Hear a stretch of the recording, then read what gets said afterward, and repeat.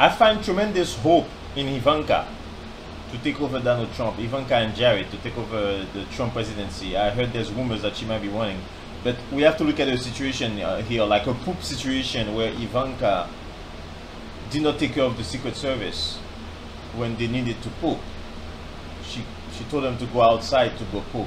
I want you to look at the story. Let me know what you think. But I think it's crazy. Um, it's uh, disgusting both ways that we have a poop situation with the with the first family.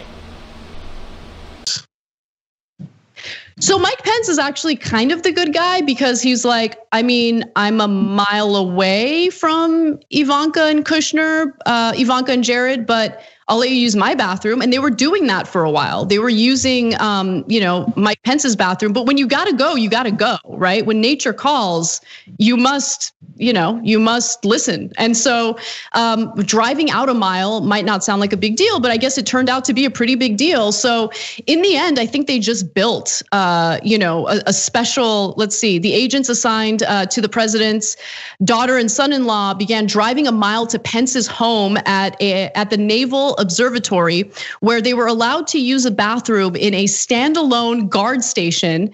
If they didn't have time for that excursion, the law enforcement officials said they relied on the hospitality of nearby restaurants. It's so messed up.